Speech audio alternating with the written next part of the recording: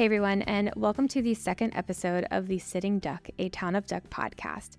My name is Kay Nickens, and I'm really excited about this episode in particular because something that we talked about in the first episode with town manager Drew Havens was about how young the town of Duck is. And we just celebrated our 22nd anniversary of incorporation. And when we think about how young the town is, it's important to think about how we've grown and how we've developed over time. And what better person to sit down with us today and talk about a huge milestone in the town's history than senior planner Sandy Cross. If you know Duck, chances are you know Sandy. Uh, she was one of the town's very first employees and has seen the town develop and grow. So she's going to be sitting down with us to talk about the Living Shoreline and Resiliency Project to break it down so you can understand a little bit more about what makes this project so special, not only for Duck, but for the future of other coastal communities as well. All right, so welcome, Sandy Cross, and thanks for being here with us today. Thank you for having me. Sure. So before we begin our conversation about the project itself, you've been here from the beginning, from the beginning of the town's incorporation. So I think it's really interesting to hear your perspective as far as looking at where the town is now and and where it started and if you can take a step back and look at, you know, 22 years of Duck, what is I'm just curious, what's your main takeaway from where we started and where we are now? I would say first and foremost, forward thinking. That coupled with a strong sense of community and a town council that is very active in the community. And I could go on and on mm-hmm. on that subject alone. I'm not sure if you want me to stay here or no, not. you're good. You're good. We definitely do have a very strong community. Drew and I kind of talked about it a little bit in the last episode. Um, with that in mind, as far as you know, the town being forward thinking, that has a lot to do with our environment and where we are. Would you agree? Absolutely. I mean, that's part of the the whole premise of the incorporation was to to put things in the control of the people that live here and and allow us to to be forward thinking because I don't think that the residents and the community prior to incorporation felt like they were they were going down that path. Right. And so it's important because we're surrounded by two bodies of water and you know, we're going to be talking about a huge milestone in town's history. You bring up a very strong point is the town being forward thinking and I think this is a great great point to illustrate that and paint that picture. So, just to give our listeners a little bit of information, Sandy's been an integral part of the Living Shoreline and Resiliency Project. So, we are going to dive into a conversation to get some more insight and information about why this project was necessary and how the elements of the project work because while you might be driving along Duck Road and you see, you know, some rocks and and you see freshly planted plants and a new turn lane, you might not exactly know the scope of the project. And Sandy's going to chat with us a little bit and break that down so you have a better understanding and you can kind of formulate your own thoughts and, and vision as to what it means to be a forward thinking community. So there's a lot to unpack here. So stay with us. Uh, Sandy does a great job at explaining all of this. So just to start, um, Let's start with the most basic of questions to kind of set the scene of the Living Shoreline and Resiliency Project. Sandy, what was the overall intent of the project? Well, uh, it was a multifaceted intent. Um, we wanted to, first and foremost, elevate NC 12 to reduce flooding and increase resiliency of the roadway. We planned on restoring the native marsh to protect the shoreline and and improve natural habitat. Um, we also, uh, you know, when I say we we are forward thinking, we're also looking at shoreline projects throughout the community and and the differences between bulkheads and living shorelines and, and which is more effective in terms of resiliency. So we saw this project as a as a huge um, opportunity to show others what can be done aside from a bulkhead and how more how much more resilient it can be in, in terms of dealing with sea level rise and climate adaptation. Um, we also, you know, we're looking at bicycle and pedestrian connections within the village. Uh, we've been working on that for quite some time following uh, the adoption of our comprehensive pedestrian plan in 2014. And this was just another piece of that, carrying it from um, along the west side from Resort Realty up to Sunset Grill.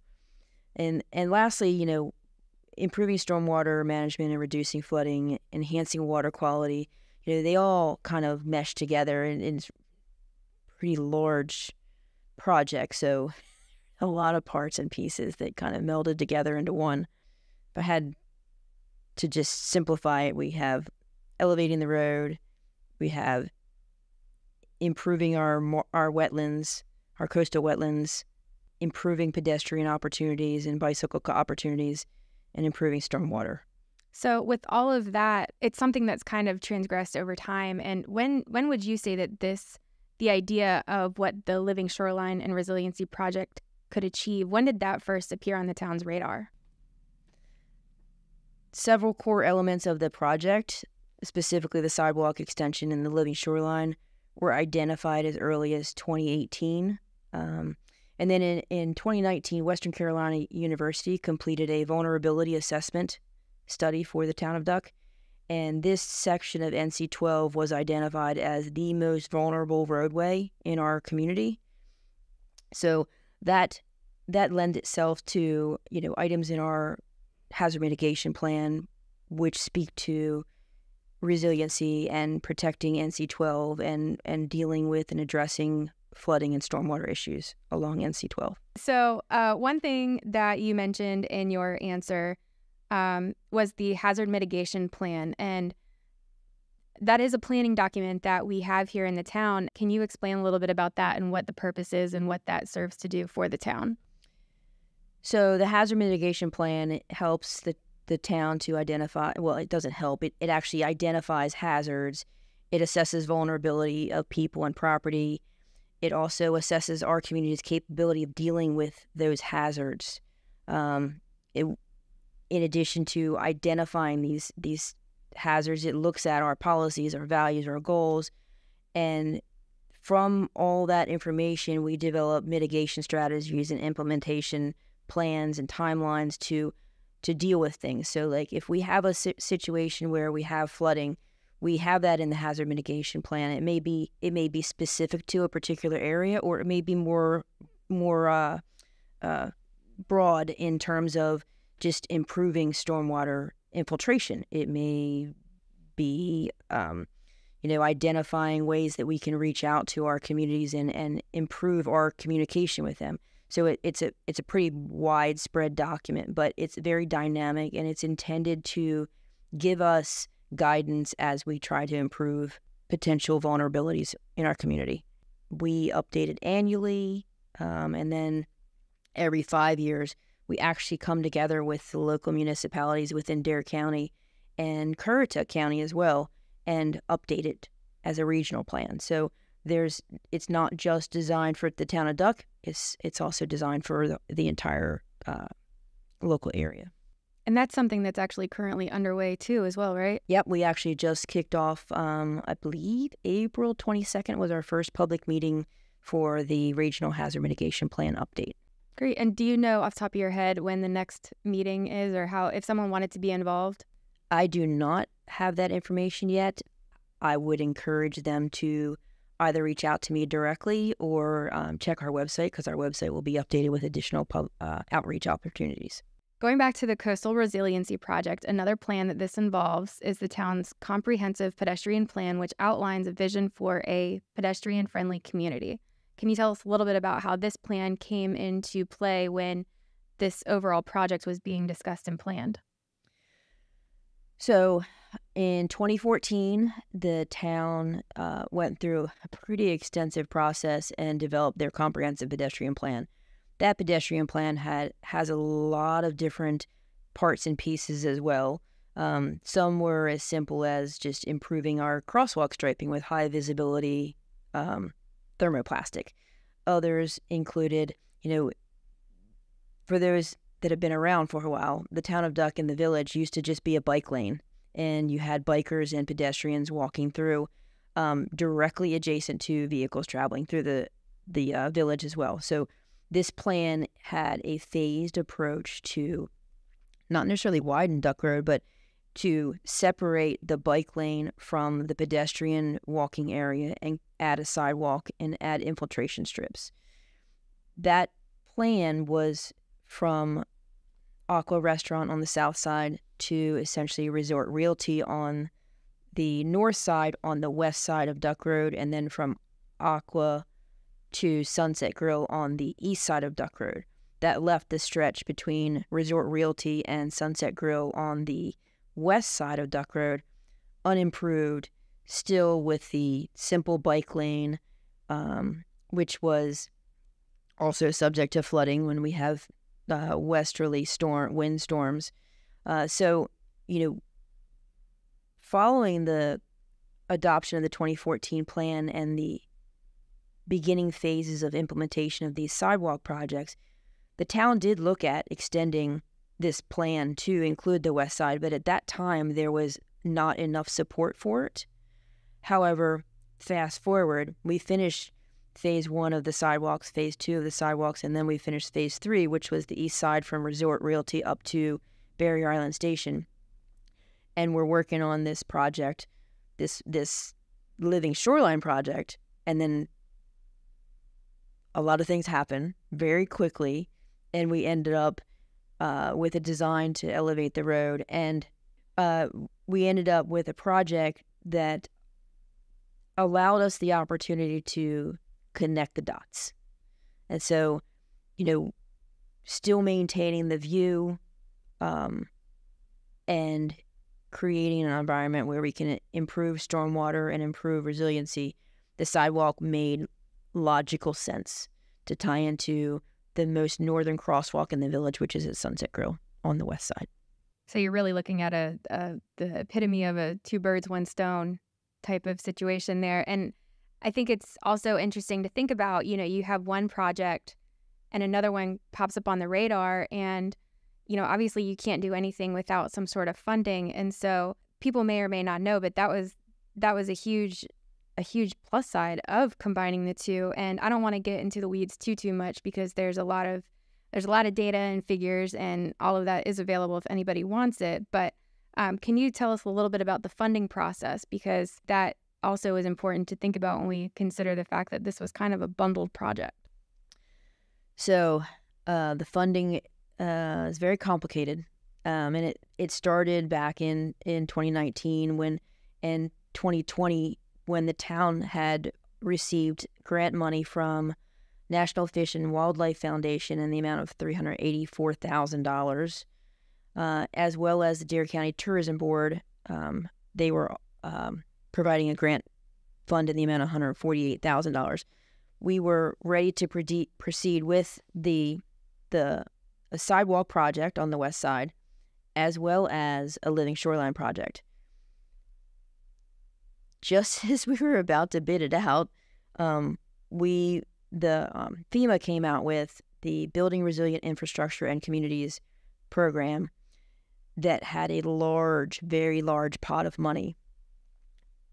Resilient infrastructure and communities.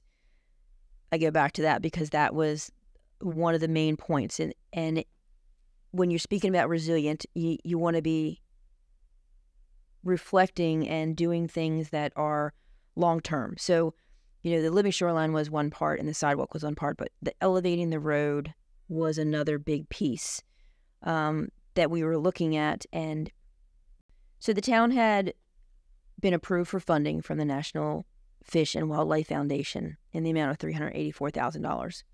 That was to pay for our Living Shoreline project. We also had a grant from Dare County Tourism Bureau in the amount of $148,000 for the West Side uh, sidewalk improvements. We were ready to proceed with both of these projects in fall of 2020 when FEMA came out with their uh, Building Resilient Infrastructure and Communities Grant Program. We often refer this refer to this as BRIC, B-R-I-C for short. Um, when that came out, the town looked at our hazard mitigation plan and our vulnerability assessment and said, "Wait a minute, here's an opportunity for us to potentially get a lot more money and do something much more resilient. So we shifted gears. um, and looked at developing a more comprehensive resiliency project that included raising the elevation of NC 12, adding some stormwater management improvements.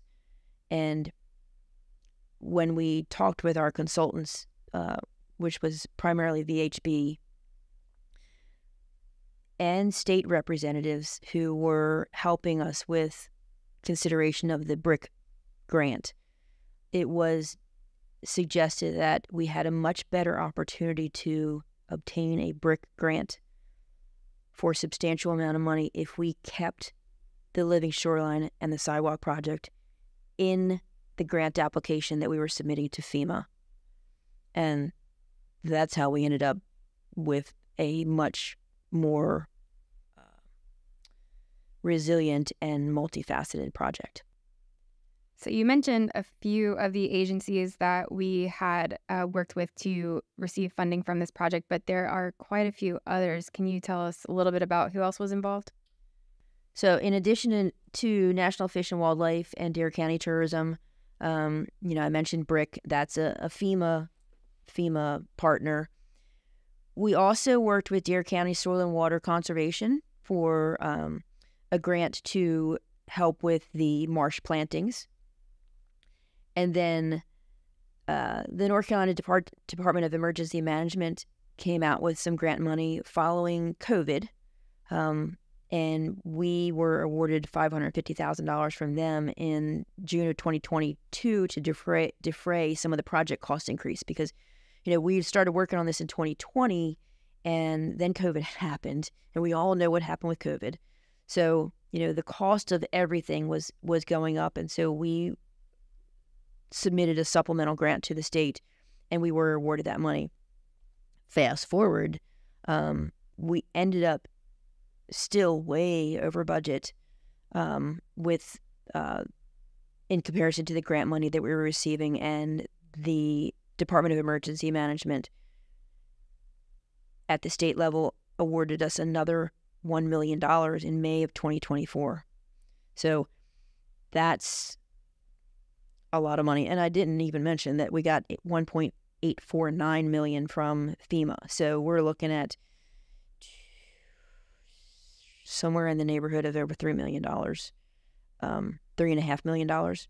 If you want to do, if you want me to do the math, I can do it. But it's a lot of money. Great work on you guys for finding those grant opportunities to offset that cost because this was an expensive project, and you know, unfortunately, with COVID, with the cost of materials increasing and and just everything kind of taking a, a pause, you know, while that happened, it's nice to see that all of this finally comes together. And, you know, the $1 million grant, that's new. That's yeah. this month. So, and, and, and, and speaking of the grants, I really, really want to give a lot of kudos to Joe Heard and um, his efforts with along with VHB for for putting these grant applications together, getting them in a timely manner, getting them in complete, and then following up with them. And then Drew Drew Havens came through. Um, you know, when the emergency management grants were um, the result of his contacts at the state and him, you know, basically sending it down the line and letting us take hold and, and get those applications in.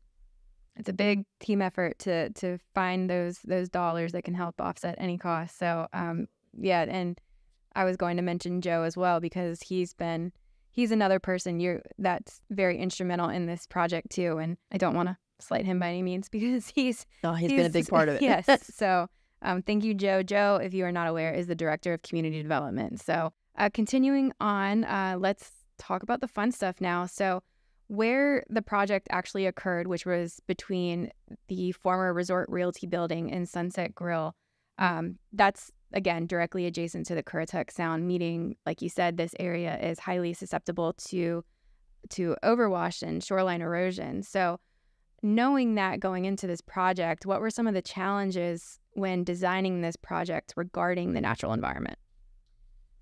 I can't speak for our designers specifically, but I can say from my perspective, uncertainty uncertainty was certainly one of those challenges. Um, there's not a lot of projects out there like this that you can model from that you can say this is this is guaranteed to work. So we are somewhat going into uncharted territories. Um, but fortunately, we have a great team of engineers and scientists and planners and designers from VHB. They bring a lot to the table. Um, you know, I, I don't work with just one person. I mean, I have one contact primarily, but I when he has a question, he goes to someone else on his team, just like we have a, a bunch of people on our team. And fortunately, we have a great team of engineers, scientists, planners, and designers from VHB, our consulting firm that developed the plan and have administered permitting and construction of the project. With their knowledge and their expertise, we feel that the design is resilient and sustainable. Other challenges, uh, so I'm going to get a little technical here. um, and this is definitely my wheelhouse. This area, the area where this project is is is occurring, is located in what we call the air, an area of environmental concern. That's a term that was developed by the state in the late 70s. Um, and because it's in an area of environmental, environmental concern, we are subject to CAMA regulations, and that's the Coastal Area Management Act. So permitting was quite the challenge. It's not like just building a single family residence. You have a large area, you're dealing with um, a revetment, you're dealing with fill, thin layer placement fill, and um, a lot of development within what we call the 75 foot AEC. Um, going back to area of environmental concern, we use acronym, acronyms all the time. Um, this was a major CAMA permit, so we were dealing with state and federal agencies, and so there was a quite quite a bit of back and forth between agencies, and that took quite a bit of time. Um, and then I think going back to Jerry Maguire popped in my head when I saw this question. Um, show me the money. Um, that was a big factor working on a project of this size and scope. And as we already noted, um, we were ready to go in 2020 when the BRIC program was released. We put that original project on hold. And here we are four years later um, just getting the project started and completed because the money. You can't go forward without the money. Mm-hmm. Um, notifications that you're receiving the money are great, but until you actually have an award letter, you can't start the project.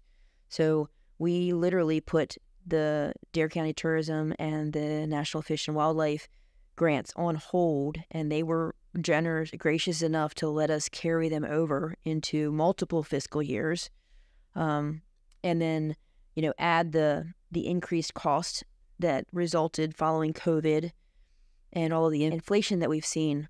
You know, go back to show me the money. You got to have the money in order to make this happen, especially when it ended up being over a $4 million project. Lastly, Mother Nature. I talk about Mother Nature a lot when I do beach plantings. Um, she is no different on the ocean front than she is on the sound front. Um, she wields a lot of power, power, and in a project like this, you are at her mercy. Um, fortunately, we were able to get the sills in place pretty quickly, and I'm pretty sure we'll talk a little bit more about those. And they played a substantial part in the way this project actually progressed forward. So, yeah, we'll definitely get into the mechanics of what the sills are. But, you know, when you mentioned that the sills played a substantial part into the way that the project progressed, were the sills designed to be installed first as you know a measure of foresight to mitigate some of the wave energy that might come from a storm as the project began i don't know that, that i would consider them as much foresight as just um, instrumental and logical to do first the fact that they went in so quickly was a key part of this project and they boogied. Millstone Marine was phenomenal getting this in place. So let's go back to when you were talking about raising the road and break down some of the elements of this project because it's important to understand that it's much more than just raising the road. But let's start there. How much was the road raised and what went into the decision making process as far as how much to actually raise the road? So the road was the, the road was raised approximately three feet at its highest point. Um, the low point was somewhere between Dune Road and Sea Colony at about 2.8 feet above mean sea level. The goal of this project, when we look at, you know, forward thinking again, sea level rise expectations and what we're going to be looking like looking at in, in 2050 and, and 2100, um, our our primary goal was to get the road to an elevation of five feet. Um, that made sense because the areas north and south of our low point tied in at five feet. So we didn't want to create any additional flooding issues by raising the road too much and then sending water elsewhere. So this was the the the best elevation to put us at a pretty much a neutral zone for water coming from rain events. And and then also putting us at a at an elevation where overwash might splash, but it's not going to inundate. And it will maintain continuous traf- travel through the area. All right. Ad lib here because I didn't actually write a question about this. So, when you see the overwash splash, there's some new rocks there. There are a lot of new rocks that have been added. They're not just for decoration. Um, can you tell us about those and um, you know what their purpose serves and and how that ties into the project as well as as you know being part of the living shoreline and coastal resiliency idea? So the rocks that you see now are essentially what was there before, but they are much much larger. Uh, they're what we call armor stone, and so what we did was we created a armor stone revetment. Um, they removed the old stone, for lack of better words, riprap that was previously there. Um, that was much smaller stone, and I don't know what class it was. Um, but our engineers felt like we needed to start fresh. So they pulled out all of the old stone. They laid fabric, like you might see behind a, uh, a bulkhead. They laid um, some base stone to keep everything in place and, and create an area to start laying the large armor stone, which is, um, you know, those stones average about three tons, I believe. Uh, and then there were some smaller stones placed to fill in the gaps. But the goal was to keep those rocks from ending up on Duck Road if we got a storm that was going to overtop Duck Road which has happened before. And I know we'll probably talk about some of the storms, but um, one of the pictures that I can vividly recall is was it after Hurricane Isabel? No, it was Hurricane Irene. Irene, and there were rocks all over Duck Road. Yes, there's there's actually been um, several storms that I, I'll bring up. Yeah. So um, another part of that, and and when I'm thinking about talking about the project and breaking it down, people are going to see this and might not necessarily understand that, you know, it's not just a bulkhead out in the water or, you know, it's not just a wooden wall. They might not necessarily be familiar with the different elements of what goes into um, coastal resiliency projects, such as these sills. So, knowing that they're sills and you've kind of touched on what they do um, and how they how they play a role in this project can you tell us a little bit more specific information about what role they have and, and what these sills do? So, what we have out there are vi- what we call vinyl sills. Uh, but sills come in a variety of forms. They can be stone, they can be living or artificial reef systems. In our case, we were very limited on space. So, um, and we weren't allowed to impact any existing subaquatic vegetation, which is called, we refer to as SAVs. So we needed to stay landward of these SAVs that were out in the water. And our engineers designed, um, came up with the vinyl, vinyl sill design, which is common. You, you see it on the Outer Banks frequently.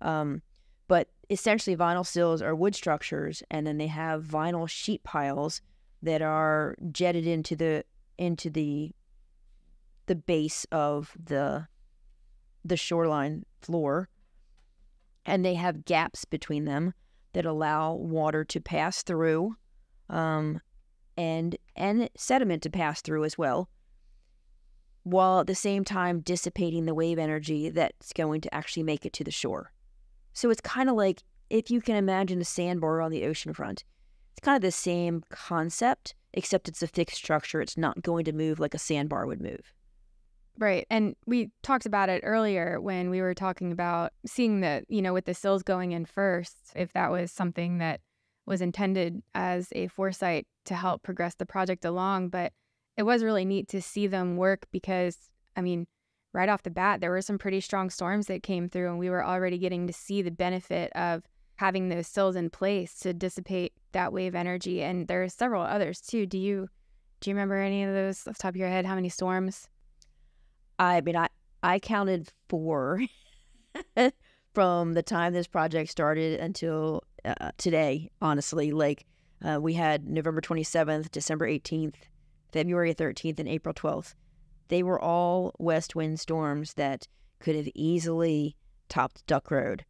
And if I if I think back from 2011 to 2023, when this project began, I come up with four storms over the course of 13 years that did that.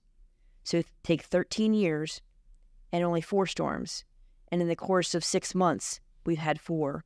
So forethought whether it was forethought or not, I, I'm just going to say we were really lucky we got this mm-hmm. project underway when we did, um, just in time. Yeah, yeah. And there's a really cool video that uh, Jim Gould, who's one of the planners here, he got where you can see the white caps from the sound. And then as soon as it hits those sills, it's, I don't want to say necessarily calm, but it you can see a visible difference. There's no white caps versus white caps. So um, it's pretty neat. And I, it's on our social media and our YouTube channel. So if you want to see it in action, it's there. And I'll also note too that what's nice about this is there are a lot of people that might not necessarily live in Duck, but they work in Duck or drive up to Corolla or to the southern beaches. And we've gotten a lot of feedback of people saying that this is part of their commute and it's it's they see it in action. And so it's it's from a, from a PIO standpoint, it's kind of nice to see that they can also appreciate the efforts and understand the importance of doing something like this. Yeah, I think uh, I think it may have been last week or so. We got an email from a contractor who's back and forth between Corolla, and he's like, "I've been driving this road for 20 years. This is the best thing you guys have ever mm-hmm. done. It's fantastic. You're spot on." And he actually mentioned the storms. He's like, "There's been several storms this winter where you we would have had flooding." You know, I, I again, I just impressed with how spot on this project has been. And it's it's progressed along nicely. And um, last week or the week before, I'm losing track of my days, but they finished the planting. So you know something else that people might notice when they drive by are plants, and not just only on you know the not just along the sidewalk, but also in the marsh as well. And that is something that's still in the works to be done. But um, can you tell us a little bit about the vegetative part of this process? Because obviously we've had rocks, we've had sills, the road, but what about the vegetation involved? So uh, the sidewalk project throughout the village has included uh, what we call an infiltration strip between the bike lane and the sidewalk. And that infiltration strip is actually a stormwater measure that was intentional. Um, it has uh, it's about 24 inches deep, and it's got some filter cloth in it, and then we've got uh, a bed of gravel to help with um, stormwater, and then we use bio soil in there, and then we planted it. That is partly aesthetic, partly to keep people from crossing at places that are that don't have crosswalks, but it's primarily intended to be a stormwater measure. That being said, it's a very small area.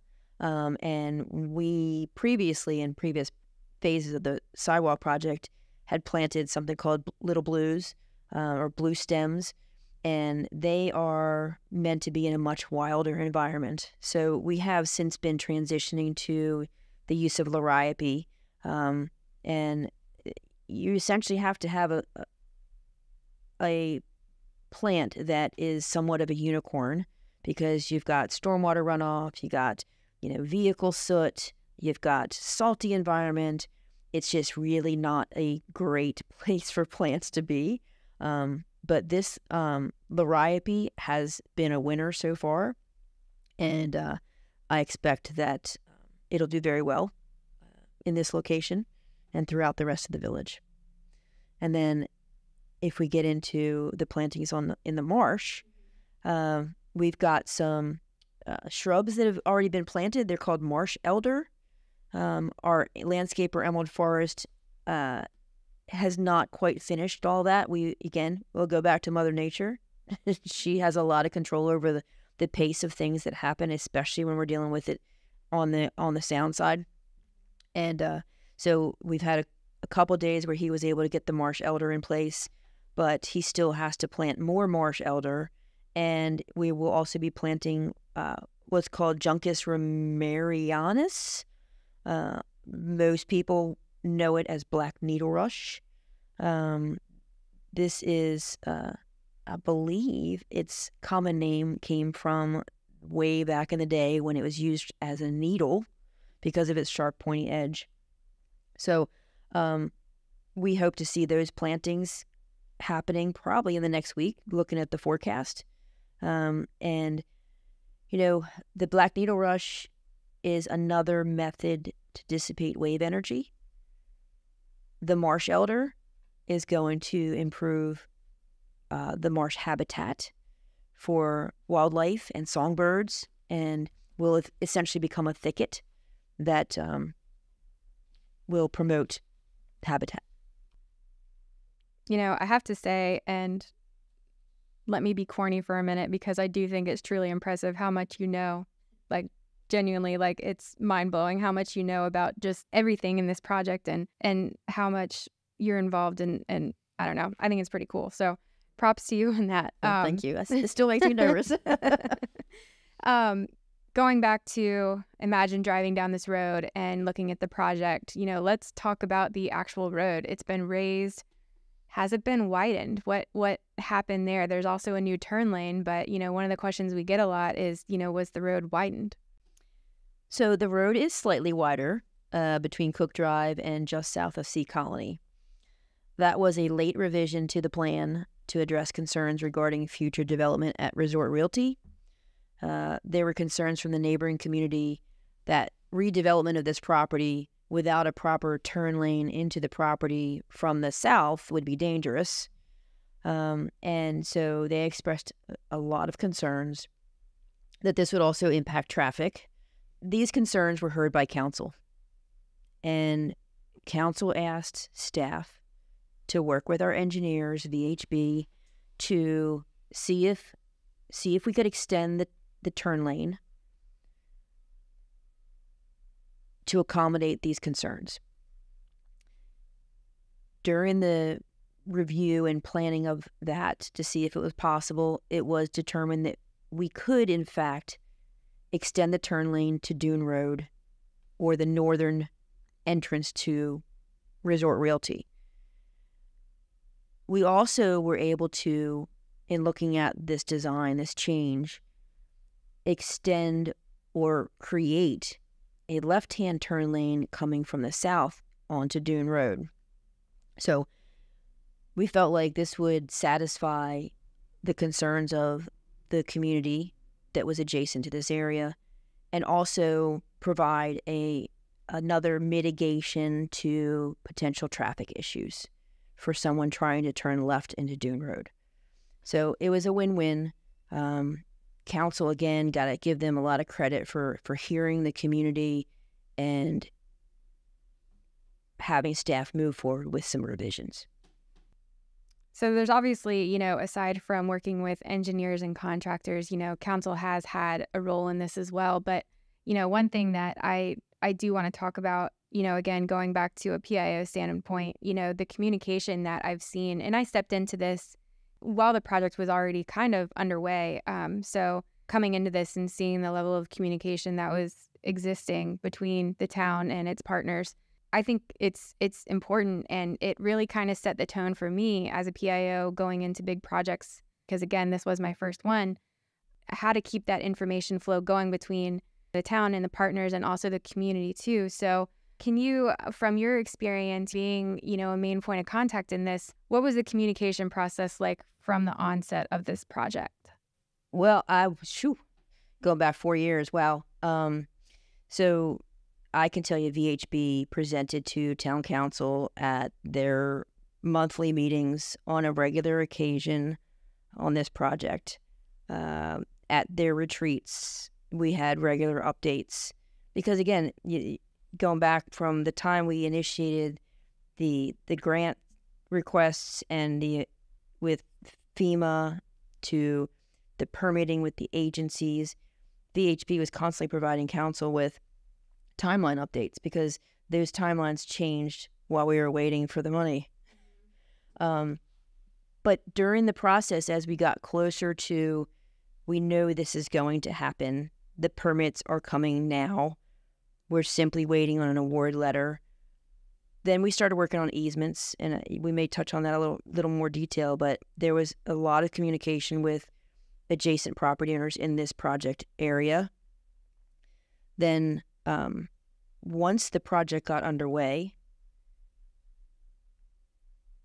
there was a schedule of um, biweekly meetings with VHB, our our our con- construction administrator, and Fred Smith Company, who was the contractor on record, and even sometimes with some of their their subcontractors were here. Like Millstone Marine was at a couple meetings as well. So, you know, we did those meetings every two weeks. Every two weeks, you know, you were getting updates, you were putting, and you were putting stuff out every week uh, in terms of what we could anticipate. Now, did the, things change? Absolutely. In a project this size, it always, always. changes. There's always this caveat subject to change depending on weather conditions, Mother Nature, um, other factors, other factors, equipment, delays.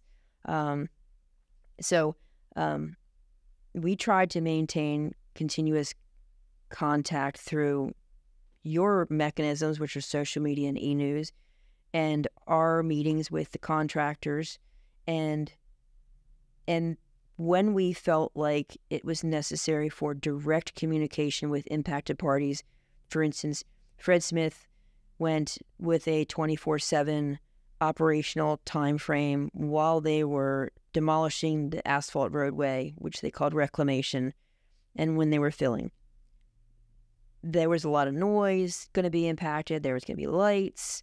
So we made a point to direct email impacted parties. So, you know, there's a lot of parts and pieces. There were a lot of players involved in making sure communication was getting out and getting to the right people. So, you know, I, I, I could start listing them, but the list would be long. Yes, yes. And, you know, one thing that was really helpful too, Fred Smith would send two or three week look ahead. So that way, you know, we had kind of a big picture outlook of what the timeline was going to be. And, you know, going back to even the 24 7 schedule, we put out a press release maybe a, a month or so before that schedule change actually occurred just to give people a heads up because it was something that would be a you know a big change of the work schedule considering the the time in which construction occurred and the noise and the lights but even the to that regard, they were mindful about having lights that only pointed to the west. Yeah. And they were mindful about not offloading any trucks, you know, at certain times of day. So, well, and quite honestly, like the the twenty four seven schedule didn't necessarily mean that they were working twenty four seven. They actually utilized that mechanism to allow them to maintain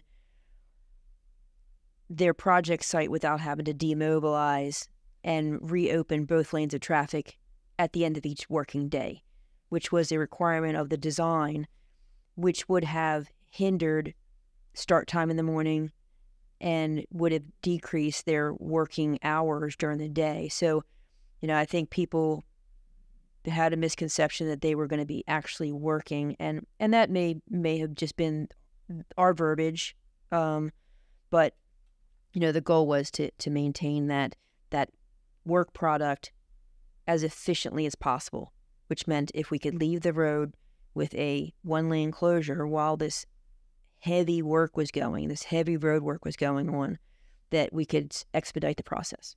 Yep, yep. And you know, with all that to to say that it's you know they did their best to mitigate any sort of inconvenience. You know, there were some minor ones with the lane closures and sidewalk closures, but you know, this definitely has more of a beneficial long term impact. So kind of that thought process as far as being forward thinking too. You know, when we think about the Living Shoreline and um, Coastal Resiliency Project and preserving our environment and being forward thinking, do you, going back to what you said too about there not really being any sort of blueprint for a project like this, do you hope that this will set a precedent or you know, serve as a model or a guide for other coastal communities? Uh, yeah, absolutely. I, I see this as a, a blueprint for other communities. And, and we're going to do our best to make sure that other communities are made aware or, or able to to get our information um, through um, presentations. We're planning on presenting this to North Carolina Coastal Resiliency Community of Practice in July, as well as Wetlands Watch to Virginia. Uh, we are also looking at submitting abstracts for the APA NC conference and the Sea Grant conference, as well as NC Byways conference this fall. So um, I think that once we start getting the word out on this project and how it came together, I think other communities might take take a look and, and use it as a blueprint for sure. Great. Well, is there anything else you wanted to add? I know we we covered a lot and you did a great job. Again, thank you for breaking that down and I hope people are able to listen to this and and know a little bit more about, you know, the area that they traverse along and understand a little bit more about what this project actually entails. But is there anything else you wanted to add? Uh, you know, I think that uh, when you drive through Duck, take it in. You know, think about when you're sitting in traffic, think about all the work that went into this project. Um, and when you're not sitting in traffic because there's water on the roadway, think about this project. Um, we want to be good stewards of our, our environment, and I think this project is an example of that. Mm-hmm. And it can also on a smaller scale, be an example for individual homeowners or HOAs um, or communities to do things that are resilient on the sound. And I'd like to thank you for the opportunity. Oh, of course. Always happy to chat with you, Sandy. And thanks for being the second guest on this podcast. So um, appreciate it. Thanks for your time. Great.